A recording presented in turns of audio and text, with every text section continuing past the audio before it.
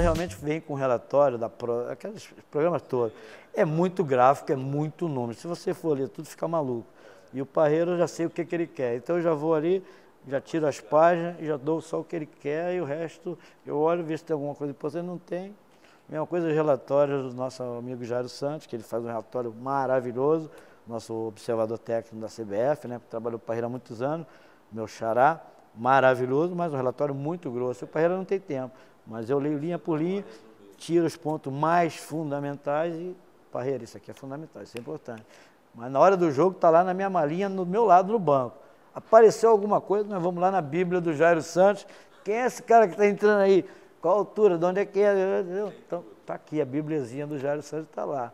A gente é, é o trabalho do assistente, está caçando notícias, informações do adversário e tentando antecipar para o treinador não perder tempo.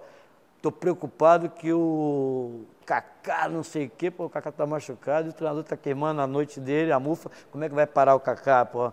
E no dia seguinte o Kaká a gente sabe que está machucado e nem vem. No caso aí, o Kaká, todo mundo sabendo, o adversário que desconhecido, tem um jogador importante, o treinador está preocupado porque o cara é muito bom na cabeça, quem vai marcar, como é que vai parar. Ah, fica calmo porque já está aqui, o cara está machucado, o cara não vai jogar. Aí já planeja, já, já vai para outras situações.